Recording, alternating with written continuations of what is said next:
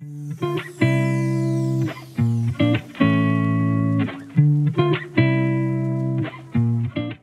up guys, welcome to Ballin' on a Budget Art Edition. To be real though, figure drawing practice can be an expensive hobby or an expensive practice. Even if you just go to workshops around in your area, I've seen them from anywhere as low as 7 and up to $200 for uninstructed sometimes one lesson that you're paying for. Now, if you want to go into classes, well, that's going to cost you even more. Sometimes anywhere from like five to seven hundred dollars plus, depending on what school you're seeking to learn figure drawing from. Now, this video is not about how you can avoid art school or avoid instructed figure drawing. In fact, I really suggest that you go for it if that is your passion. But along the way, or maybe you've even finished art school and you just want to keep your practice up, and you don't quite have the resources to go to those expensive workshops yet, there are free resources online that you can use, and these are some of the best ones that I know of. First up, we have characterdesigns.com. Yes, designs with an S, not characterdesign.com. I did mention free, right? Now, speaking of free, it is worth mentioning that a lot of these websites have not been updated in a while, but they're still a great resource with plenty of pictures to use. Now, this one really is kind of important to me because it's something that I used a lot back in my art school days.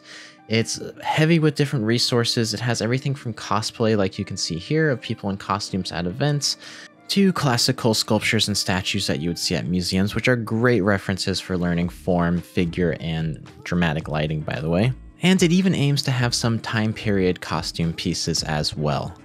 For those looking for more of like a classical figure drawing photo pack, well, they have those as well, and they also have some pretty nice lighting on them, so you can check those out. I will just say as a disclaimer, this is a website that does have not safe for work, nude material, which is very commonplace in figure drawing, so if you're not comfortable with that, you just kind of have to navigate through and make sure you're not going into those sections.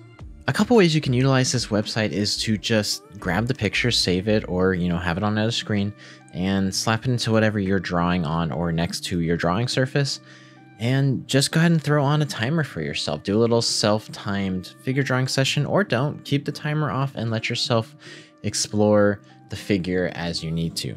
And since you have the picture on this one, you could even use it for other things like you could use it to help yourself figure out how to overlay some anatomy.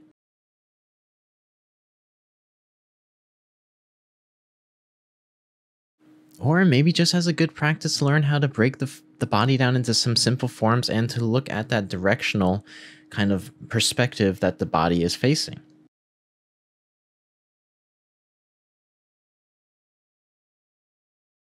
And even better yet, you can take it to the next level and you can try draping some clothing over your figure.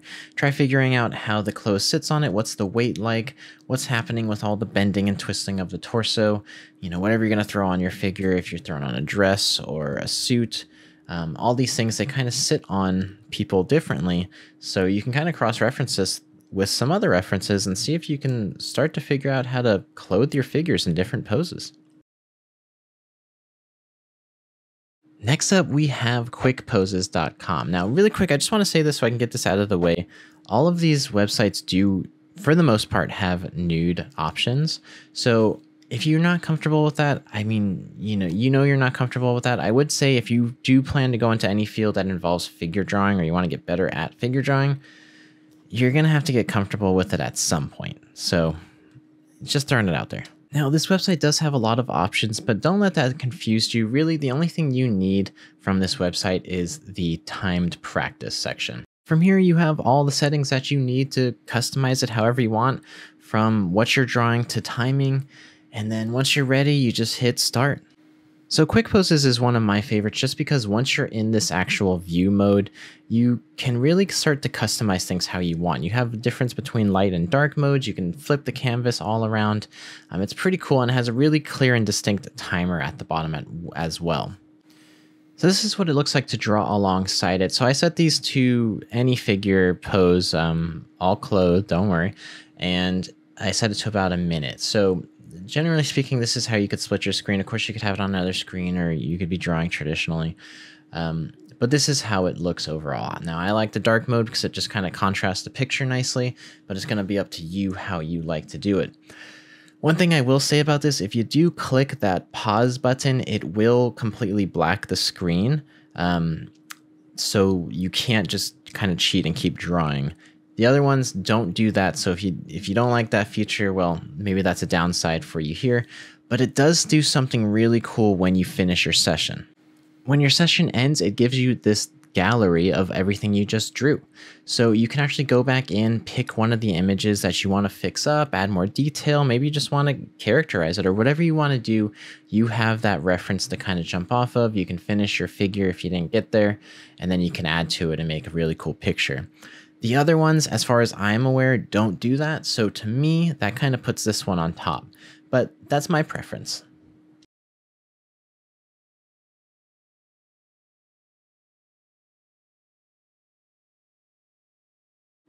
Next on the list, we have sketchdaily.net. Now, this one I found out about pretty recently, but I really like it because it has a nice variety of images, and you can see it's been updated somewhat recently, right? It's not as old as the other ones. I really don't think Quick Poses has been updated for years, and same with the first one. Definitely, definitely not since like maybe 2010. Um, but here you have a more more recent one and of course, you have all the settings and controls that you liked from Quick Poses. So once you click start, you get this screen here. Now, I really like this because we're already in dark mode and that is my preference right off the bat. Um, you can click through the images. Again, these are all kind of like just images pulled off of the internet. But one thing I did think that they did, which was kind of a cool, unique step, they added this little info button here, which pops up and gives you some things that you might or might not need. Now, I don't really find this useful. I just thought this was kind of interesting and something I haven't seen on the other ones. It even links directly to the source. So overall, I mean, that's pretty cool. So if we draw alongside it a bit, I have some stuff I'd like to kind of talk about. With this one, there is no clear timer. I'm not cropping it off here. I promise you can check it out um, I set it to about a minute, I think, and what happens is once it starts to reach that minute, the picture kind of fades, but it's like super quick and then it transforms to the next picture. So if you're working on something and you know that you need to stop and you want to work on some more detail, you better hit that pause button. Now with this one, when you do hit the pause button, it will keep the image up so you can kind of cheat that way if you need to.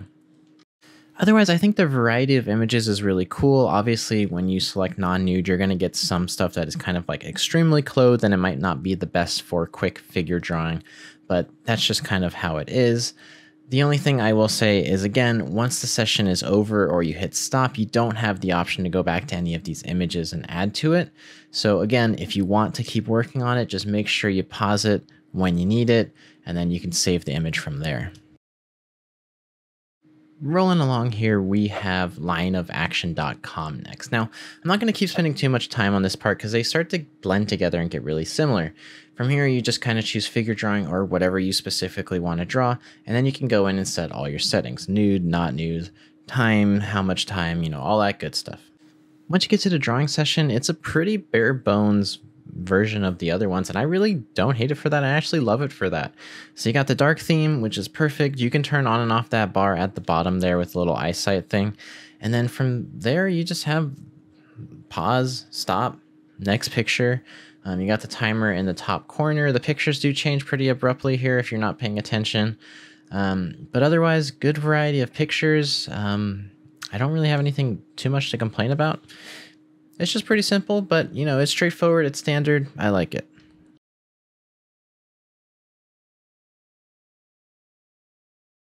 Next, we have adorkastock.com. Now, this one is pretty bare bones straight from the beginning. You really don't have too many options, and I don't fault it for that at all.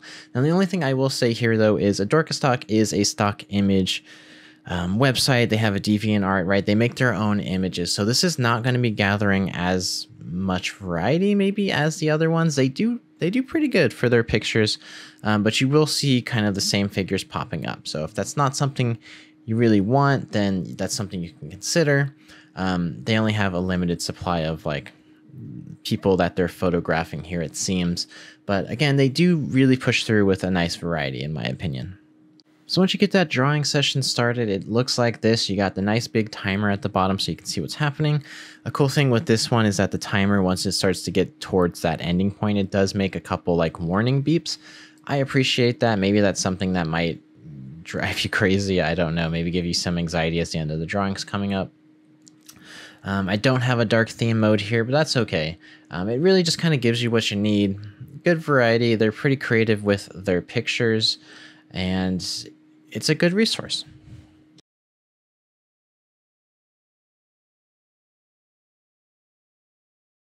Now, if you thought some of these images looked familiar, well, they might have if you've ever been on DeviantArt, and I see these people all over DeviantArt when I go on.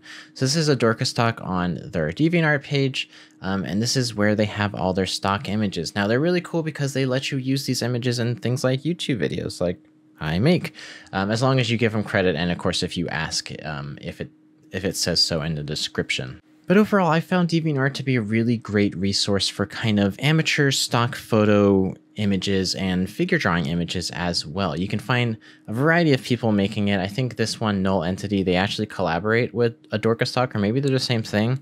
I'm not quite sure, but you have kind of the same variety of images here. Nice, simple background. And then, of course, you can find other sources as well. Now, I do want to say with DeviantArt, there is no restrictions on nudity and sexual content. So just be careful what you're getting into. You can see I blocked that section over there on the right out. That is the uh-oh zone because there was some sexual content there that is suggesting, oh, hey, you're looking at this picture, you might want this. I'm just kind of giving you guys that heads up. But again, there's some really great resources there with people who really put a lot of effort into their images, their costumes, everything. So I'd say check it out. All right, we're starting to get to the end here. Here's the second to last one. This is New Masters Academy on YouTube. I know, who thought you could learn art on YouTube? Um, but anyways, they have a bunch of tutorials, but they also have a figure drawing or life drawing section here where it's time sessions right here. You can see um, it's usually clothed figure. I think it's all clothed figure actually to follow along with YouTube guidelines. Um, but it's one of the only free figure drawing um, sources with actual photos, well lit photos too, that you can find on YouTube still. And the last free resource I have for you guys is Pinterest. Now, I'm sure you guys all know this one, but I just think it's such a great resource, especially because as you pin things that, you know, hit your references or hit your interest um, on your homepage, you just start getting some really cool stuff. And then you just start pinning all those and you get some more cool stuff. It's been a constant source for me for finding inspiration. When I don't have any. If I have art block, I'll go onto my homepage and I'll find like a picture of like a pretty portrait or something and then I draw it. And I practice drawing a cartoony or something. And you know you also have all this great art um, on here as well as inspiration. It's it's just an overall really cool source. You can't beat it. It's got some cool stuff. It's got some cool images I mean, what more is there to say? And I couldn't make this video without giving an honorable shout out to Croquis Cafe. Now, Croquis used to be free on Vimeo, but they did recently go to a paid service. Um, but they have the uh, figure drawing software where you can set all your customization. This thing is constantly, constantly updating. I think they post one video a week, so it really is worth it. Um, and it really doesn't cost that much you guys can see here, it costs $36 for the year. You know, um, you, you just can't really beat that price. So if you do have the budget, I would swing this way. But of course, now you have all those other free resources at your disposal. All right, guys, and that's all the resources I have for this video. Now, don't worry, I'm going to be pinning all the links below. So if you want to check them out and you can't remember the names, you can go ahead and click them down there. But I do want to hear from you guys did I miss some website? Is there some really cool figure drawing um, apps or websites out there that are free that I didn't cover? Um, what are some photo resources that you use? And of course, if you did find this video helpful, please go ahead and share, like, or subscribe, or all of the above. It really does help me out. I hope you guys found some useful information here and it's something that you can utilize moving forward with your art journey. Well, all there is left to say is thank you guys so much for watching and I'll see you in the next video.